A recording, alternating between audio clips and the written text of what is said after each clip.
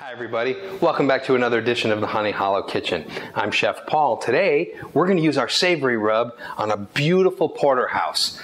As always, we love a liberal amount of seasoning. Rub it into your steak.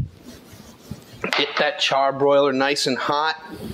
Now, of course, if you choose to put this in a saute pan or a cast iron skillet, it'll perform beautifully. This is one of our rubs that has a deep complexity because of the chili powder. It blends beautifully with the herbs and the salt. Great robust flavor, especially on such a rich cut like a porterhouse. And there you have it. I'll see you out at the grill.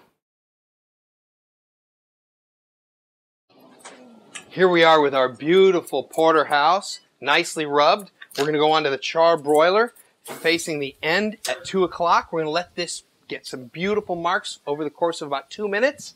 Then we're going to turn this to 10 o'clock to complete the grill marks, cook it for another minute, and then we'll flip it.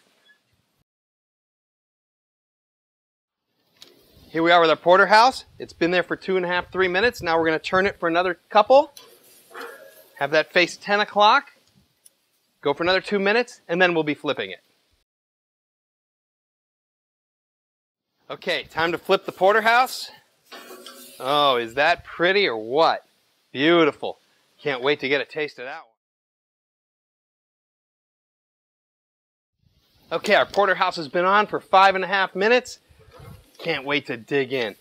Look at those marks. Beautiful. Bon appetit.